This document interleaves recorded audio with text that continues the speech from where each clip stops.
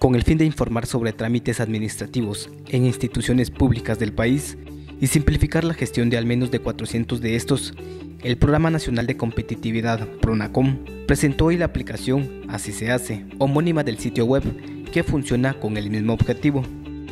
En la plataforma presentada esta mañana en un hotel capitalino, los guatemaltecos podrán consultar los requisitos, costos, pasos a seguir, entre otros relativos a las diligencias en entes gubernamentales. Según el Ministerio de Economía, las versiones de la APP y web de Así se hace contienen artículos sobre cómo avanzar en alrededor de 400 trámites, entre estos obtención de antecedentes penales y policíacos, creación de sociedades y obtención de permisos, licencias y registros. Tenemos aproximadamente 400 trámites en la plataforma, se pueden hacer los mismos trámites o se pueden consultar, mejor dicho, porque es una plataforma informática. Eh, se pueden consultar desde la carencia de antecedentes penales, estamos ahorita haciendo el tema de los antecedentes penales en línea, también subiéndolo a la plataforma para que la gente pueda conocer cómo se tiene que hacer,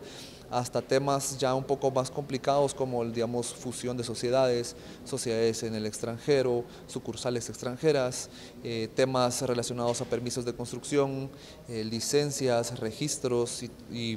muchas cosas más, como por ejemplo impuestos, estamos con SAT también trabajando bastante. Y obviamente un aliado importante pues es el registro mercantil, que es el que,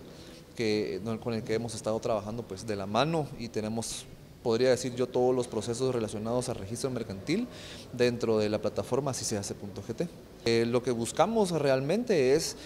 que los procesos estén en la palma de la mano del usuario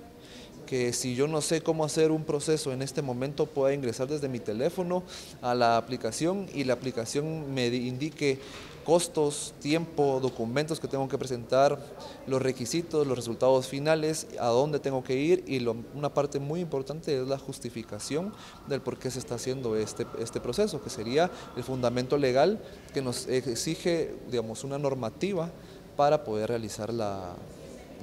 el trámite que estamos buscando.